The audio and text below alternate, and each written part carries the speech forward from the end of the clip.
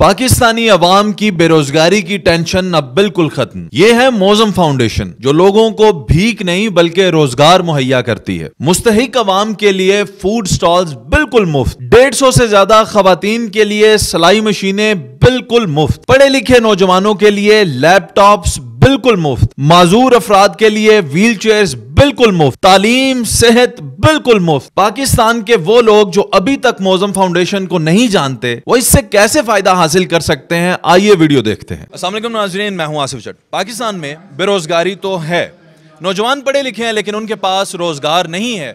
बेरोजगारी की इसी फ़िक्र को अपनी फ़िक्र बनाया है मौजम फाउंडेशन ने। यहाँ पे, जिस जगह पे आज मैं खड़ा हूँ, यहाँ पे 125 खवतान को सिलाई मशीनें दी जा रही हैं। ऐसे बच्चे यहाँ पे मौजूद हैं सौ से ज़्यादा, जिन्होंने ऑनलाइन अर्निंग के कोर्सेज किए और आज उनको सर्टिफिकेट दिए जा रहे हैं, साथ लैपटॉप दिए जा रहे हैं। नब्बे से ज़्यादा स्टॉल्स हैं जिनके अंदर फ्रूट्स और ड्राई फ्रूट्स और न जाने क्या क्या ऐसे स्टॉल्स हैं जिनसे अपने रोज़गार शुरू कर सकेंगे गरीब, आवाम, नौजवान। आखिर इतना बड़ा मनसूबा ये कौन लोग हैं?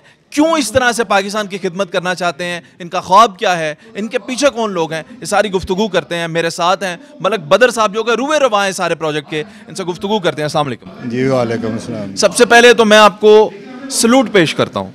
उस सोच के लिए कि जिस सोच ने पाकिस्तान के नौजवान को रोज़गार की इतनी फ़िक्र की आपने कि नब्बे से ज़्यादा यहाँ पे स्टॉल्स में देख रहा हूँ जिस पे फ्रूट्स हैं ड्राई फ्रूट्स हैं, दूसरी और चीज़ें हैं, आप सिलाई मशीनें दे रहे हैं लैपटॉप दे रहे हैं, यानी जिस जिसकी जो काबिलियत है उसकी बिना पे आप उन्हें ये चीज़ें दे रहे हैं, आखिर इसकी वजह क्या है?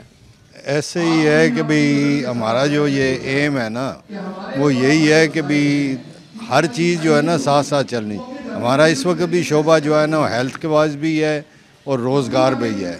और रोज़गार जो है ना वो इंग्लिश की सही है ना कहते हैं कि भी don't give them fish teach them to fish और टीच ये करना है कि भी ये लोगों को अगर हम रोज़ाना रो, दे दें ना मदद कर दें तो वो मदद होती है एक दिन के लिए दो दिन के लिए तीन तीसरे दिन फिर वो वापस आ जाएँगे। तो लिहाजा हमारा एम जो है ना हमारे मज़म फाउंडेशन का जो एम है वो यही है कि हर बंदे को हम कोशिश करें कि भी उसको अपने पाँव पे खड़ा करें। ताकि वो ज़क़़त और खैरात के ज़ुमरे से बाहर निकल आए। वो जब बाहर निकल आता है तो अपने ख़ानदान को बड़े अच्छे तरीके से वो रोज़गार बना सकता है। तो लिहाजा ये जो हम, आप देख रहे हैं, ये इस वक्त भी हमने 200 से ज़्यादा लोगों को रोज़गार फ्राहम करने के मुहैया इख्तियार किए हम इनसे पूछते हैं, पहले बताते हैं, पूछते हैं कि जी आप क्या कर सकते हो? जैसी उनकी काबिलियत होती है वैसे हम उनको वो मुहैया करके देते हैं और ये नहीं कि कुछ दे दिया, पूरा साजो सामान देते हैं। बहुत ज़बरदस्त। अच्छा पाकिस्तान में एक सोच तो ये है कि गरीब का खून भी न छोड़ ले। जो कुछ उसके पास है, वो भी लूट लेते हैं, ले लेते हैं। बहुत तंग है पाकिस्तान की गरीब आवाम। और दूसरी सोच आपकी है कि इसको एम्पावर करें, इसको पाँव पे खड़ा करें, इसको रोज़गार कमाने के काबिल बनाएँ, हाथ जो इसने फैलाया हुआ है, वो इसका बंद कर दें। तो ये लोग कौन है आपके साथ जुड़े हुए? ये एक करोड़ से बड़ा प्रोजेक्ट है, एक इंसान तो नहीं कर सकता। मैं बेहद मशहूर हूँ। एक तो हमारे अपने डोनर्स हैं जो यूके के अंदर हैं।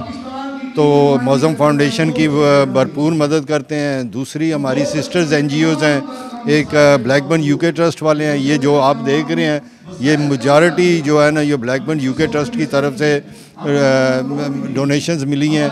उनकी वजह से हम कर रहे हैं। जितने भी पाकिस्तान के अंदर प्रोजेक्ट होते हैं ना, इस्लाम फाउंडेशन के ब्लैकबर्न यूके ट्रस्ट के और मौज़म फाउंडेशन के, वो मौज़म फाउंडेशन जो है ना, इस वक्त मौज़म ट्रस्ट पाकिस्तान के अंदर फुल फ्लैज जो है ना वो इस पर काम कर रही है। अच्छा मुझे मौजम फाउंडेशन के बारे में बताएँ। मैंने सुना है आपका अस्पताल भी बहुत बड़ा है जिसमें सेहत कार्ड की तरह का एक कार्ड जारी किया जाता है जिस पे कोई लिमिट भी नहीं है कि दस लाख बीस लाख पचास लाख जितने का वो वो भी हो जाता है। उसके बाद आप ये रोज़गार भी कर रहे हैं। आप ऑलमोस्ट हर फ़ील्ड के अंदर हैं। तो ये मौजम फाउंडेशन क्या है? मैंने जैसे आगे भी कहा है कि हेल्थ में रोज़गार में और आ, मदद में और हर किस्म की सहूलियात के अंदर ना हमारी नॉन प्रॉफिटेबल ऑर्गेनाइजेशन है। इस वक्त भी हम हॉस्पिटल जो है वो सबसे हमारा पहला प्रोजेक्ट था जिसके अंदर इस वक्त भी हमारे पास साढ़े चार हज़ार के लगभग जो है ना फैमिलीज़ हैं जिनको रजिस्टर किया गया है।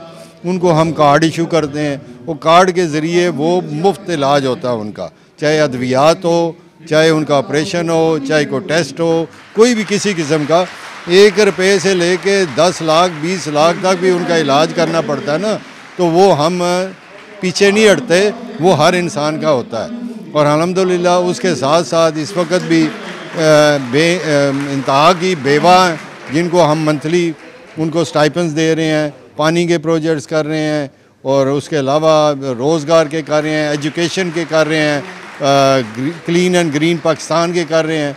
तो अब हमारा जो शोबा है ना, वो यही है कि जिस सिमत में भी हम जाए ना, उस सिमत में हम जो काम करते हैं, वो काम को हम पूरा करते हैं। अब आखिरी दो सवाल आपसे पूछूँगा। एक तो ये कि आपको कैसे अप्रोच किया जा सकता है इस हवाले से कि आप किसी का रोज़गार मुहैया कर सकें किसी को?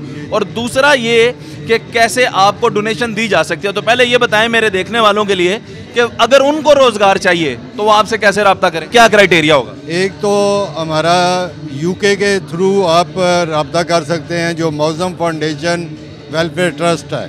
उसकी वेबसाइट भी है, उसका व्हाट्सअप भी है, और उसके ऊपर फेसबुक भी है, जहाँ पे आप हमारे साथ रबता कर सकते हैं। उसके अंदर डोनेशन के लिहाज से हमारे फुल अकाउंट्स भी हैं, ज़क़़त का अकाउंट भी है डोनेशन का भी अकाउंट है उसके अलावा आप लीला का काम करना चाहते हैं, मसाजिद बनाना चाहते हैं, इस किस्म के कोई काम करना चाहिए वो हम सारा उसके अंदर आपको मिलेगा।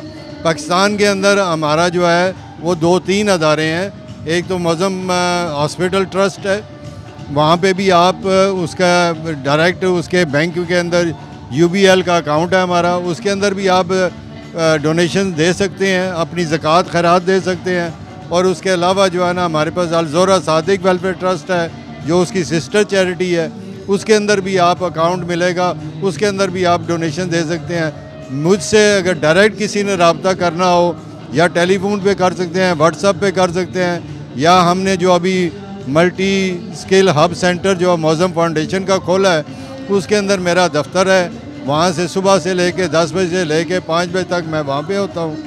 अगर कोई चाहे तो मेरे साथ पर्सनल भी मिल सकता है। बिल्कुल ठीक है और अगर किसी को रोज़गार चाहिए इस तरह के बंदे चाहिए तो यही ऐसे होता है कि उसको हम उसकी डिटेल्स ले लेते हैं। जैसे हमारे पास फंडिंग आती है हम उसको रोज़गार में मुहैया कर देते हैं। जनाबे वाला मैं इनका व्हाट्सएप नंबर आपके साथ शेयर कर रहा हूँ। ताकि आप व्हाट्सएप के ज़रिए इनसे रबता करें। अगर आपको रोज़गार चाहिए, तब भी रबता करें, अपनी डिटेल्स दें, ताकि ये आपको सिस्टम में लेकर आ सकें। और अगर आप इनको डोनेशन देना चाहते हैं तो मैं समझता हूँ कि ये एक बहुत बड़ा अजर का काम होगा, क्योंकि ये जो काम कर रहे हैं, वो आपको एटलीस्ट नज़र आ रहा है कि हो क्या रहा है। सो ये बहुत बड़ा प्रोजेक्ट है, बहुत बड़ी सोच है, और बड़ी सोच के अंदर बड़े लोगों का शामिल होना बहुत ज़रूरी होता है, ये चंद लोगों का काम नहीं होता। ये जब कड़ी से कड़ी मिलती है, हाथों की कड़ियाँ मिलती हैं तो फिर ऐसी जंजीर बनती है जो कभी टूट नहीं सकती और आप लोग इसका हिस्सा ज़रूर बनिएगा, अपना ख्याल रखें, पाकिस्तान जिंदाबाद।